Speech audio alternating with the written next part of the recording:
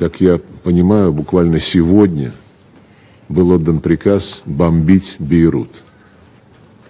Мы последовательно и неизменно исходим из необходимости полного и комплексного выполнения резолюции Совета Безопасности 1701, в которой прописаны как обязательства Израиля по прекращению всех наступательных военных операций, выводу своих вооруженных сил из Южного Ливана и прекращению оккупации ливанских земель, так и обязательства Хизбаллы по отводу всех формирований к северу от реки Литани.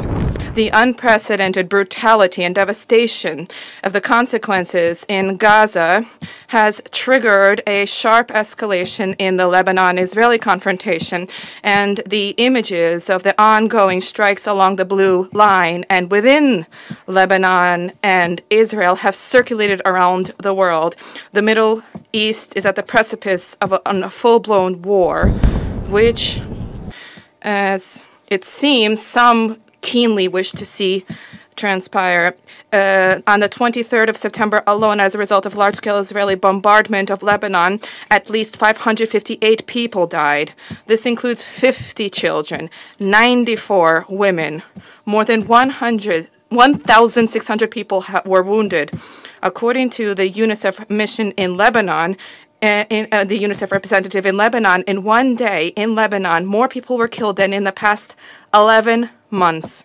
The dead include two staff members of the Office of the High Commissioner for Refugees. Tens of thousands of people have been forced to flee their homes. We strongly condemn the actions of the Israeli side, which blatantly violates the sovereignty of the friendly country of Lebanon. The indiscriminate attacks to whose casualties are civilians are categorically unacceptable. The path of war that was embraced by West Jerusalem will not allow it to return the displaced persons to the north of the country, nor will it ensure security in the Lebanon Israeli border area. And this is attested to by the experience of the 2006 Israeli campaign when even the vast arsenal of the most cutting edge military equipment and weaponry did not result in Israel achieving the goals it set out. There's a need to immediately end the spiraling violence before the situation completely spirals under out of control, which, as we see, some very much wish to see